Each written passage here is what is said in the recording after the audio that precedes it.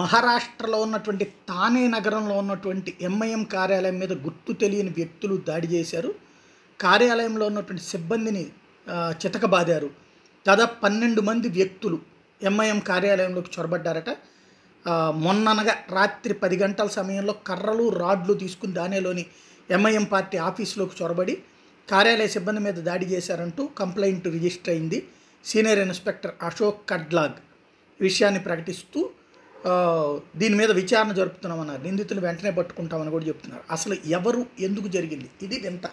ఎందుకంటే ఎంఐఎం కార్యాలయం మీదన దాడి చేయాల్సిందంటే ఇప్పుడు రివర్స్ అవుతుంది. మొన్నటిదాకా ఎంఐఎం కాంగ్రెస్ ఎన్సీపీ వీళ్ళందరూ కలిసి సాధువుల మీద హత్యాకాండలు లేకపోతే కనుక సాధారణ ప్రజల్ని చితకబాదడాలు లాంటి సంఘటనలకు పాల్పడ్డారు.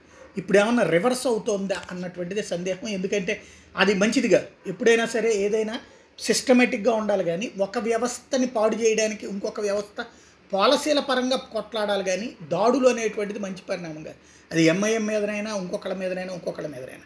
ఇప్పుడు దాని మీద విచారణ జరిపితే అసలు విషయం తేలాల్సి ఉంది.